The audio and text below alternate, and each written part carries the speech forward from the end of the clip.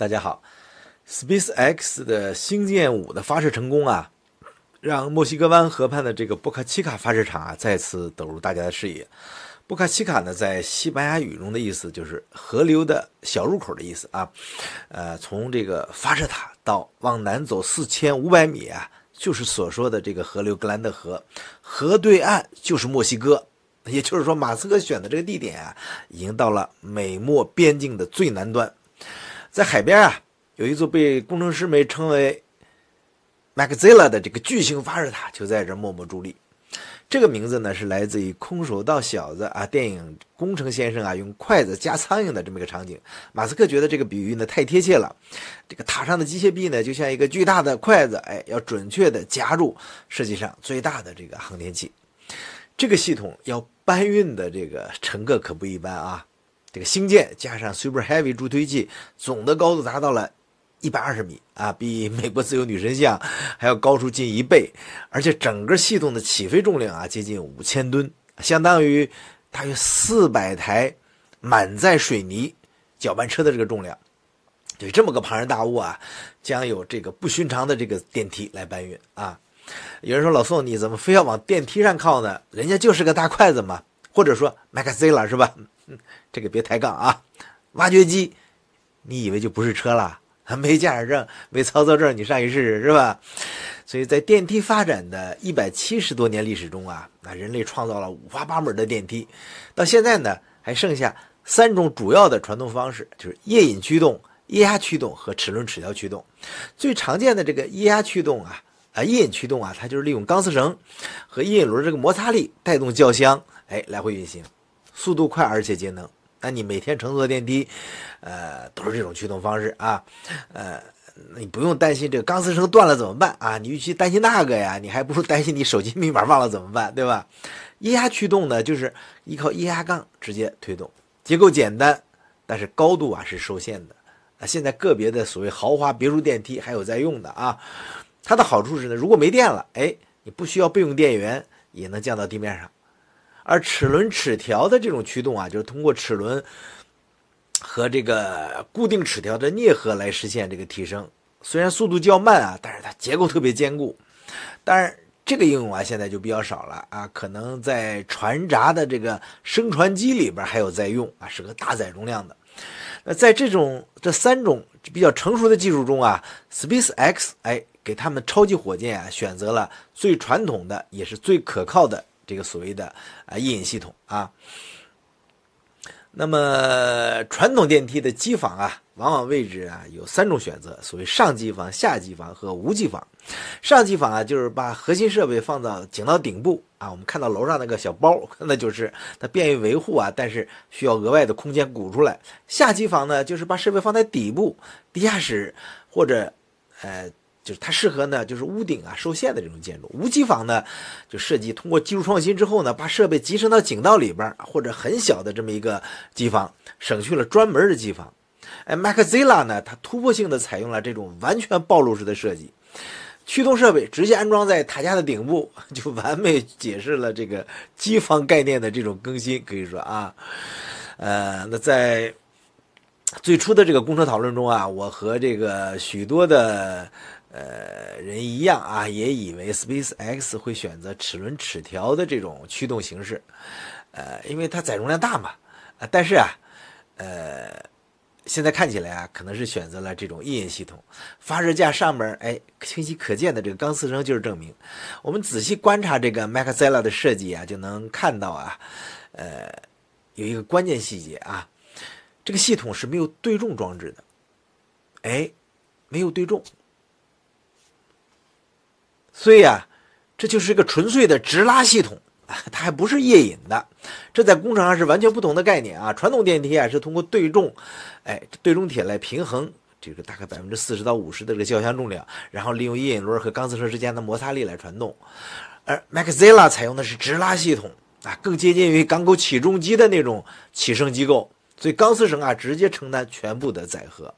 所以这个设计呢，呃，选择的合理性的在于什么呢？就是考虑到火箭啊，从空载到满载近五千吨的这个巨大重量差异，哎，任何固定的对重这种系统啊，都难以有效的平衡。反而呢会增加你这个系统复杂度。再就是啊，使用频次的低，所以呢就采用这个技术啊，就再次验证了马斯克他追求啊本质上解决方案的这种设计哲学要简单。选择这个直拉系统的背后啊，也是马斯克对效率的这种极致追求啊。传统的这个着陆支架方案啊，就像给火箭装了四个大轮子，是吧？不仅增加了重量，还影响了这个空气动力学性能，而且整个飞行过程中啊，只有到最后一分钟才会用到那个支架。更要命的是啊，这个火箭如果降落在海上平台之后，你还需要慢慢慢慢的运回发射场，就像我们快递经过一道一道中转站一样，耽误时间啊。所以 m a x i l l a 的设计啊，更体现了马克思呃，就马斯克一贯的这种极简主义的风格。最好的零件就是没有零件。所以马斯克这个常说的话呢，就在这儿得到完美的诠释。这个系统呢，最让人惊叹的就是它的双机械臂的设计，哎，就像一个电梯配备了两种不同功能的轿厢一样啊，双机械臂。呃，一个负责发射前的这种重载组装工作，另一个呢可能专注于回收时的轻载的精确操作。所以在导向系统的设计上啊，工程师们啊是面临着巨大挑战的。我们知道，在电梯里边啊，呃，其实它全全名的应该叫做什么呢？往复式垂直有轨交通工具电梯，是不是这么个东西啊？这个轨道呢，就是你日常乘坐电梯感觉是否平稳的一个关键点。哎，电梯啊。它导轨是有接头的啊，另外呢都是现场安装，所以，如果电梯轨道安装不好，就是导轨啊，电梯后期运行可能会出现各种各样的问题。有时候呢，呃，大载容量的电梯啊，比如像汽车电梯啊，或者是大载容量的货梯，往往交相两侧的一对主轨强对都不够啊，那么需要再增加一对甚至两对的轨道，最夸张的有八个轨道。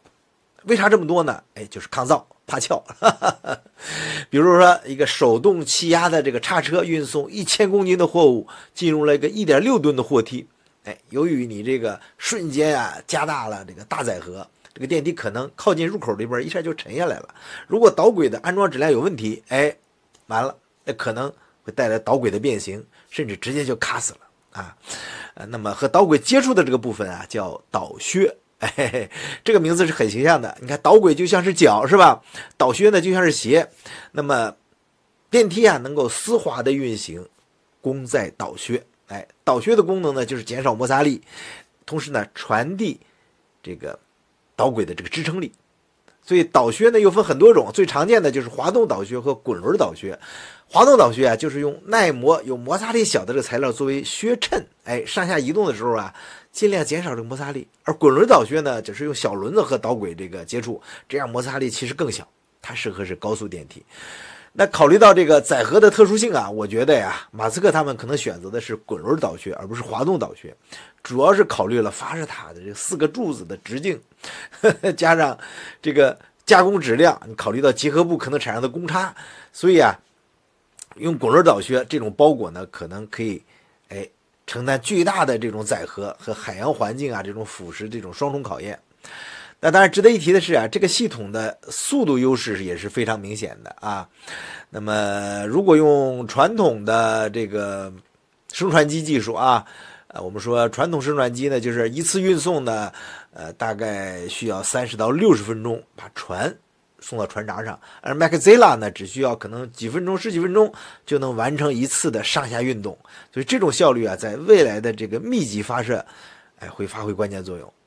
从技术发展的角度来看啊，Maxilla 呢，它代表了一种跨界创新的这种典范，哎，它让我们看到了一项看似普通的这个百年技术，通过创新性的应用和改造，可以在尖端科技呀发挥重要作用。那这就让人联想到这个。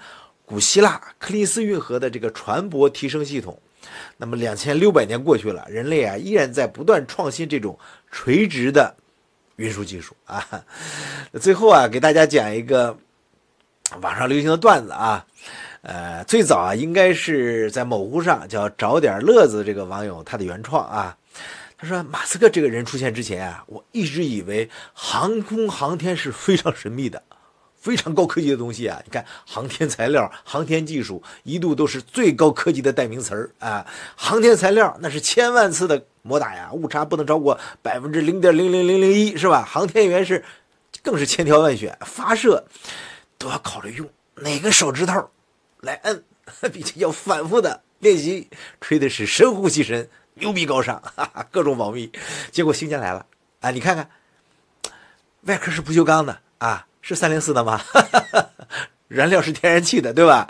呃，发射场呢是完全开放的，并且是，呃，这个随便拍照都不用保密的。呃，航天员呢，只要有钱你就能当的，而且呢，发射场乱糟糟的，更不用考虑用哪个手指头，呃，是吧？也没有发射是什么的，所以让我对航空航天的神圣感是荡然无存，好吧？我承认这个段子好像。比较好笑，但实际啊不是这样的啊，航天发射啊依然是高科技的啊，呃，但是啊，呃，可能这个更多的是不依赖人的判断，哎，而是交给了舰载 AI。因为啊，你想想，如果真的要登陆火星了，火星和地球之间的这种高延迟通讯，你即使把这个工作交给 CCTV 啊，开过光的拍过那个手指在哪降落，那黄瓜菜都凉了，是吧？所以在不久的将来啊，当我们看到更多的。这种 Starship 啊，稳稳的降落在这双 Maxilla 之间的时候啊，别忘了，哎，这其实是一台了不起的电梯在工作，它承载的不仅是一枚火箭，更是我们人类探索宇宙的这个梦想。所以这是电梯技术的一次华丽转身，是工程史上的一个大奇迹啊！马斯克用这个创新告诉我们呢，有时候啊，最好的创新，哎，不是发明全新的技术，而是找到现有技术的。最佳的应用方式。好的，这就是关于 Maxilla 和电梯之间的关系。谢谢大家收看，记住哦，挖掘机那也是车啊！拜拜。